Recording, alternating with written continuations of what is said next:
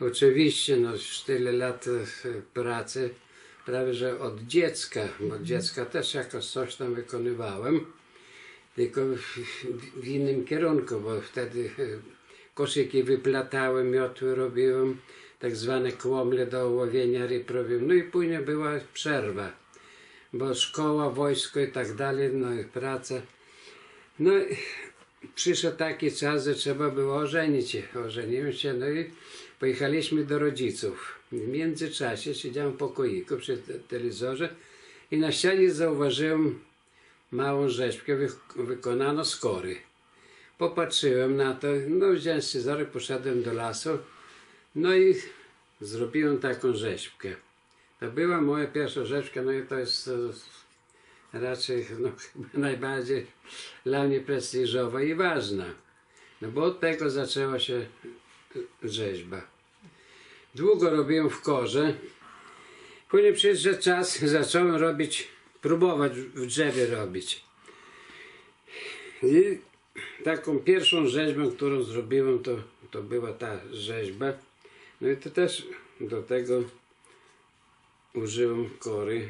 No i tak wygląda. To, to moja druga rzeźba w drewnie. Prace, które wykonywałem, były związane ze wsią, tam z tego miejsca, gdzie się urodziłem. Bardzo dużo takich rzeźb no, związanych z, pieczeniem chleba robiłem, y, z, kąpaniem kartofli, koszenie. Te postacie, chociaż to były nieraz niełatwe do wykonania, bo, bo musiały być i składane i nieskładane, bo na przykład niesie kosę, czy, czy, czy jak co, coś tam innego.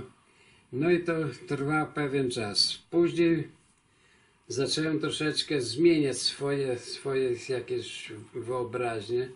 No i tak zwana y, korzenioplastyka, bo bardzo dużo robiłem w korzeniu rzeźb. No i tak to, to szło do pewnego czasu, kiedy zachorowałem. I tamte rzeźby były raczej rzeźbami pełnymi. No ale zachorowałem na ciężką chorobę i później przestawiłem się na takie rzeźby tak zwane przeze mnie składane. Takie, które, które tutaj widzimy na przykład składane. No i tak, tak tyle lat pracuję. Że może ponad 50 lat, no i tak życie leci. Bo przychodziłem z pracy, szedłem do piwnicy, no i tam sobie pracowałem od godziny, no, na przykład 5, 6 do godziny 10. No i tak y, nieraz się, się zapomniałem, nie, bo bo to dopiero, dopiero patrzę, że godzina 11 wieczorem, a ja jeszcze, jeszcze pracuję. Także tak to wyglądało. W związku z wiekiem to robię teraz y, dużo kapliczek, maluję, bo też później był taki czas, wszedłem na, na malowanie. No i teraz maluję do tego, do tego malowania. Jeszcze dokładam rzeźby. Y, No niektóre wychodzą, no, jak, jak to widać. No, no i taka ostatnia moja, ostatnia sztuka można tak powiedzieć. A ostatnio, może, może mogę się pochwalić, zrobiłem takiego koronawirusa. Proszę bardzo, o. Mój, mój pomysł. No, jak to będzie ocenione, nie wiem, no ale, ale, ale coś takiego zrobiłem.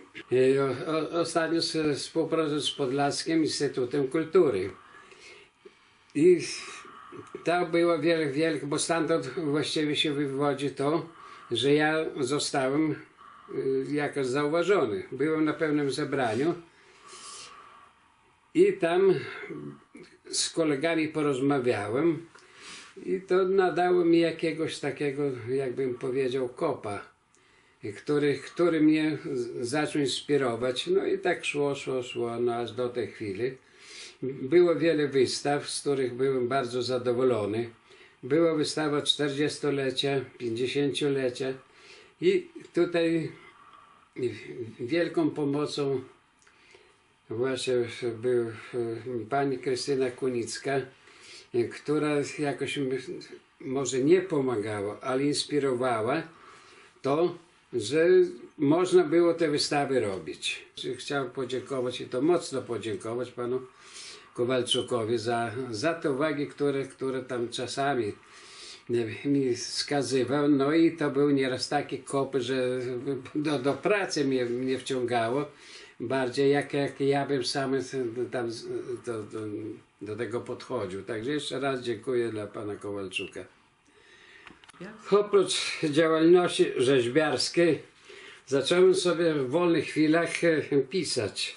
W Książnicy Podlaskiej jest taki konkurs pod tytułem Srebro nie złoto. No ja wysłałem kilka tam prac. No i otrzymałem nagrody, wyróżnienie. Drugą nagrodę otrzymałem. No i tu w tych książeczkach, jeżeli kogoś by interesowało, można przeczytać. No i tutaj mam dyplomy, które otrzymałem. A tu wyróżnienie. Tutaj druga nagroda. Tutaj mam wyróżnienie. Bo to co roku, trzeci rok, bo wcześniej nie wiedziałem, kiedy właśnie dowiedziałem się, że takie coś istnieje, wysłałem. No i zostałem wyróżniony, oceniony z pracy. Także, także no z tego też chyba ci trzeba się cieszyć. No i w związku z tym można, można doliczyć do zasługi właśnie tego utrzymania nagrody imieniem Kluberga. Także to w kupie wszystko składa się na, na ten wynik, który otrzymałem. Nie? No, także tylko, tylko cieszyć się no i, no, i, no i dalej pracować, jeżeli zdrowie pozwoli.